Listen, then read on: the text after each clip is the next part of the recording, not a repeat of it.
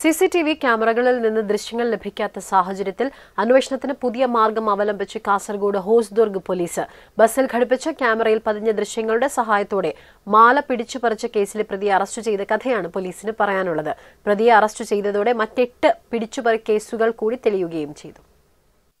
പടന്നക്കാട് ആയുർവേദ ആശുപത്രിക്ക് സമീപം വെച്ചാണ് കൊളവയൽ ഇട്ടംവല്ലെ സരോജിയുടെ മാല സ്കൂട്ടറിലെത്തിയാൽ പിടിച്ചു പറിച്ചത്. മഴക്കോട്ടും ഹെൽമറ്റും ധരിച്ചെത്തിയ മോഷ്ടാവ് ഈ അറുപത്തഞ്ചുകാരുടെ മൂന്നര പവന്റെ മാലയുമായാണ് കടന്നത്. Hosdurg police C C T V ദൃശ്യങ്ങൾ ശേഖരിച്ച് അന്വേഷണം ആരംഭിച്ചു. ഹെൽമറ്റ് ധരിച്ചതിനാൽ മുഖം വ്യക്തമല്ല. സ്കൂട്ടറിന്റെ നമ്പർ വ്യാജം. സീനിയർ സിവിൽ പോലീസ് ഓഫീസർമാരായ ഷൈജു വെള്ളൂർ അജിത് കക്കറ അനീഷ് നാപ്പച്ചാൽ എന്നിവർ തുരിഞ്ഞിറങ്ങി. സി സി ടി വി ദൃശ്യങ്ങൾ ഒന്നിനു പുറകെ ഒന്നായി പരിശോധിച്ചു. ഒരു ഘട്ടം എത്തിയപ്പോൾ ദൃശ്യങ്ങളില്ലാത്ത അവസ്ഥ. ദേശീയപാതയിൽ നിർമ്മാണം നടക്കുന്നതിനാൽ സി സി ടി വി ക്യാമറകളില്ല. അതുകൊണ്ട് തന്നെ പ്രതി എങ്ങോട്ട് പോയെന്ന് അറിയാൻ പറ്റാത്ത സ്ഥിതി. ഇതോടെയാണ് ആ സമയത്തെ ബസ്സിലെ ക്യാമറ ദൃശ്യങ്ങൾ ശേഖരിക്കാൻ അന്വേഷണ സംഘം തീരുമാനിച്ചത്. ദൃശ്യങ്ങൾ കിട്ടി. പ്രതിയുടെ സഞ്ചാരപാതയും ഹെൽമറ്റും മഴക്കോട്ടും ഊരി പ്രതി ഒരു കടയിൽ കയറിയതോടെ മുഖവും വ്യക്തമായി. ആളെ തിരിച്ചറിഞ്ഞു. നെല്ലിക്കട്ട ചെന്നടുക്കയിലെ സി എം ഇബ്രാഹിം ഖലീൽ എന്ന നാൽപ്പത്തിമൂന്ന് വയസ്സുകാരൻ അറസ്റ്റിൽ. പോലീസ് ശരിക്കും ദിവസങ്ങളോളം ഇതിനു വേണ്ടി ശ്രമിച്ചു എന്നുള്ളതാണ്.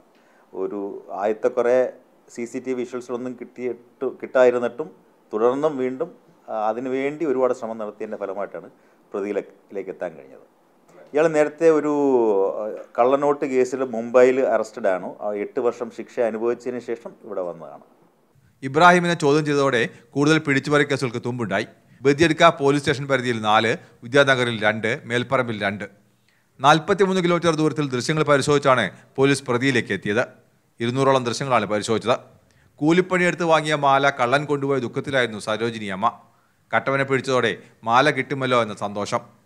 അയച്ചിട്ട് ജീവിതം കഴിഞ്ഞു. അതിന്റെ അടുക്ക ഒരു കുറി കൂടി വെച്ചിട്ട് ആ മാലയാക്കി. മാല കിട്ടിയാലേ ചിരി വരും.